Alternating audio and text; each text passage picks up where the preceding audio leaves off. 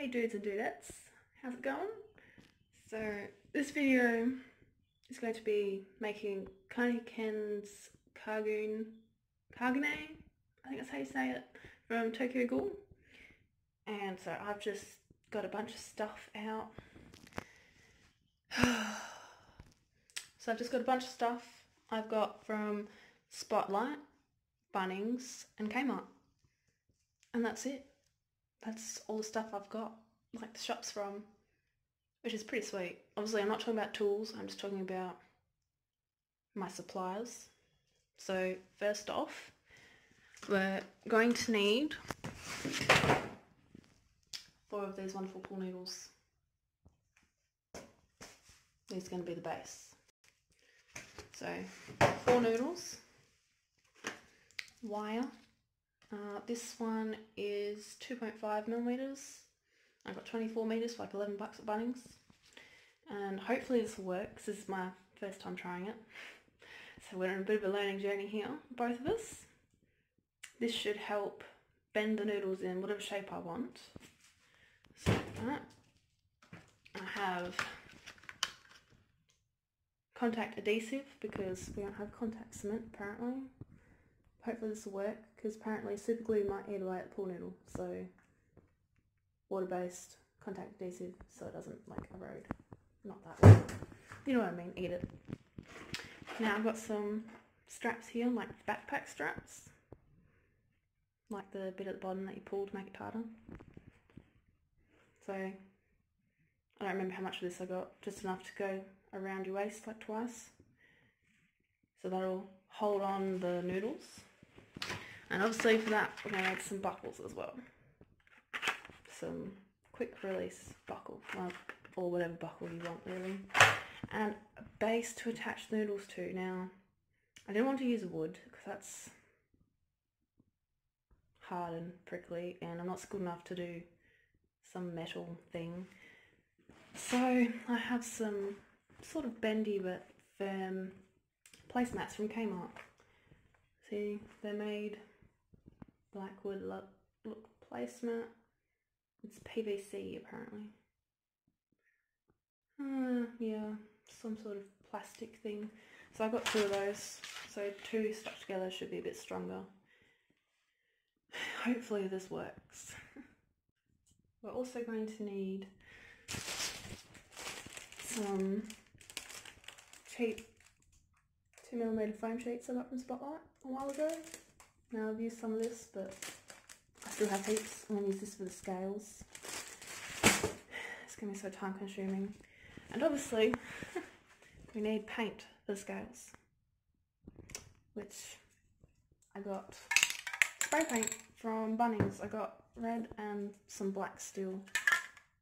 Ah. From when I did Bakugo. Which it's going to be interesting because I think this one's matte and this one is not. this one's gloss. Oh, we'll see how it turns out. Might look good actually. Hmm. Well, if it doesn't, I can always gloss them over with my crystal clear. Hmm. Yeah, time to get started. Um, no. So I'll probably need like pliers and I've got glue. Probably knife to chop stuff, scissors to chop the foam and the straps and a sewing machine to sew those because I have to sew the straps together around the buckle. Alright, now we can get started. Right, so I'm just to straighten out the wire a bit. Get a bit of it of straight.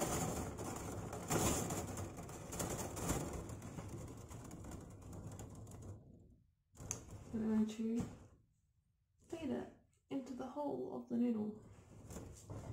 Now it will probably get caught. So you just gotta do it slowly and carefully.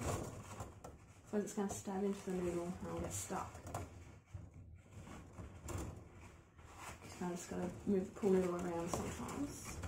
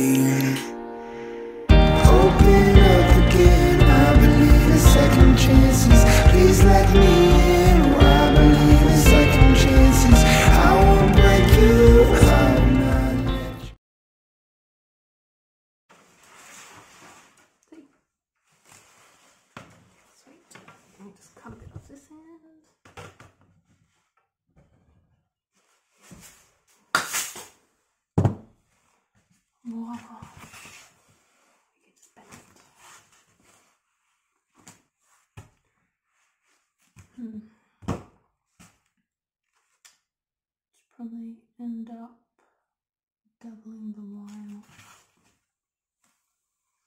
so it has helps shape them.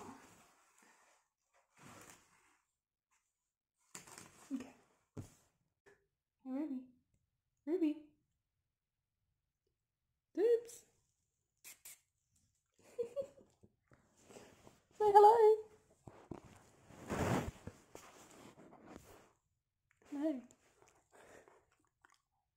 It's my little dinosaur.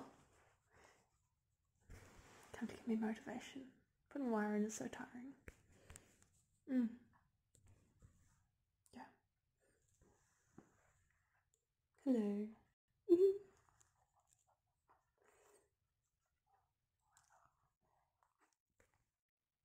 so, I talked to a guy in Bunnings about my pool noodle and how to attach it to my base. And he said, use this water-based contact adhesive because it will not eat away at the pool noodle. Because apparently hot glue will. But guess what? This shit doesn't work. Nuh-uh. And guess how I attached my pool noodle to my base? Hot glue. Not even super glue worked. It's really pissed me off. Hot glue. Attach my pool noodle to my base. to stuff you, buying scar. but no, don't, don't not actually, but like, ugh. This took me like an hour to figure out. Because that's just what I was going to do, hot glue. He's like, oh no, that'll eat away at the pool noodle, use this. Then not everyone's genius. So, I attached it using hot glue. Because, you know, pool noodles are kind of air bubbly. So this just didn't dry. Would not stick. Super glue just went into the holes and disappeared. Some other stuff I have I thought would work, but that didn't work either. So hot glue gun it was. And the hot glue gun worked. So I'm going to attach the rest of them to my base and hopefully they'll all stick on together. Hmm. I managed to super glue all my noodles on to my base. That wasn't working so well. Like, it was just holding on. So I've duct taped it together. It's like very severely duct taped. Right, I'm going to cover it later with scales. I shall. And now I'm going to put some like slits in so I can. Where did they go? Yeah. Oh, gosh. So I can get my straps on, which I've got my buckles and they have instructions on how to add straps to them. So pretty much I'm just going to loop that through the slit, fold it and sew it together so it's just like that through my base and then attach my buckles to them. And I'm going to have one up top here, one up top there and I didn't duct tape it very well so I've got like some here somewhere. And actually probably like down here. And there. So I'm going to slice those and sew them on. Hopefully it's going to be a bit of a struggle with the sewing machine. Probably should have put them on before my noodles. So make sure you watch this whole video before making anything. So attach the straps to the base before adding the noodles is some very good advice I'm telling you right now. Just duct taped the ends of my noodles. And I've just put like some foam and stuff in there to make it kind of pointy. And I did that to all the ends. And now we're going to paper mache all the noodles. So got one done so far. It's just over there drying. And I've got two and a bit to go. So yeah. yeah.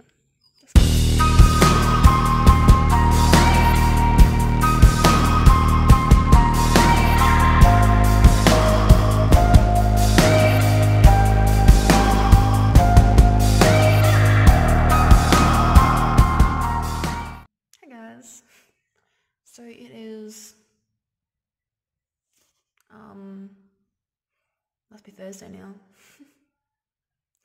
Thursday sometime really early in the morning. And I've got this nice pile of foam scales. Mm, at all these. That's just like one and a half of these. And I have another two.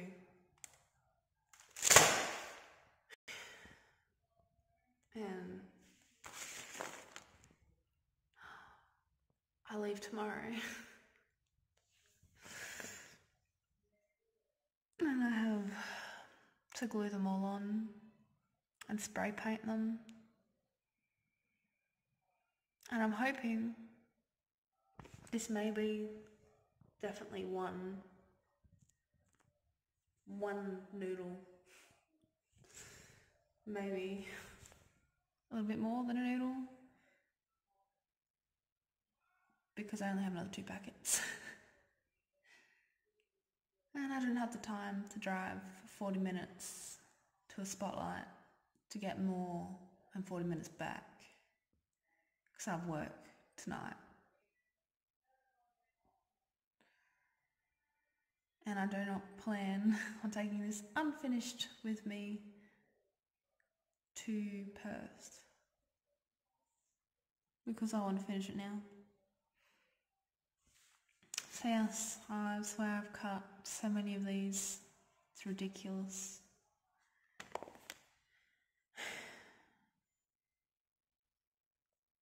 Suppose better start cutting some more. Started putting the scales on. So make sure you start from the end because you want them to like overlap nicely like that. Sort of doesn't look the best at the moment, but it's getting there. But yeah, so you want to overlap nicely so you don't get like any nasty gaps and it's a lot easier going from the end instead of trying to tuck them under each other if you started at the base. Unless you've decided scales are going to go the other way.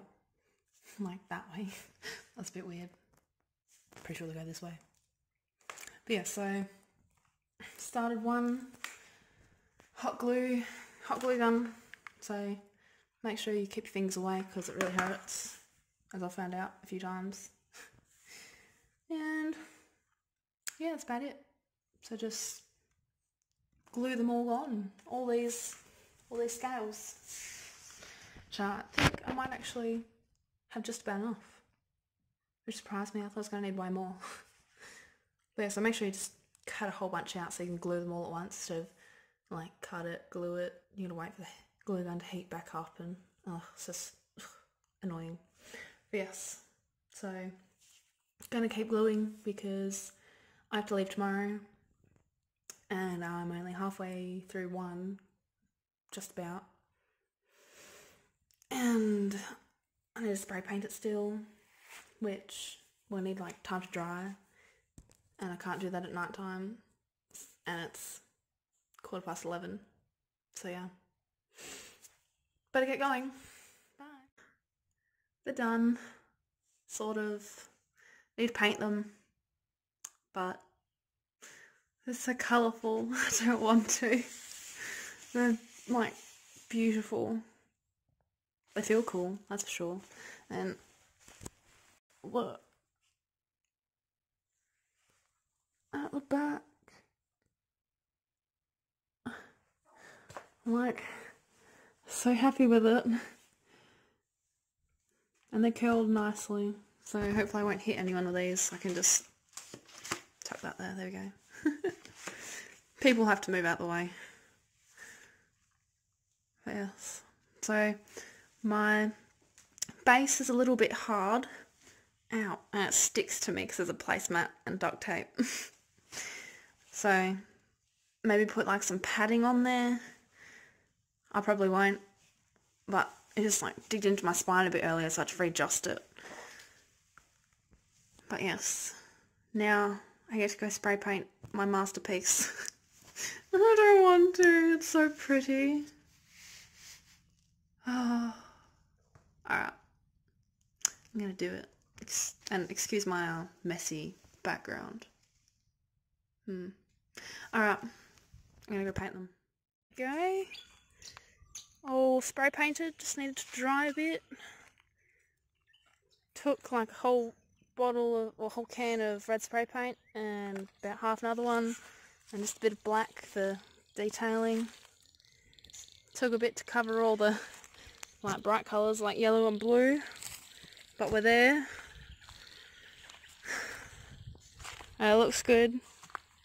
I can't wait to try it on once it's dry.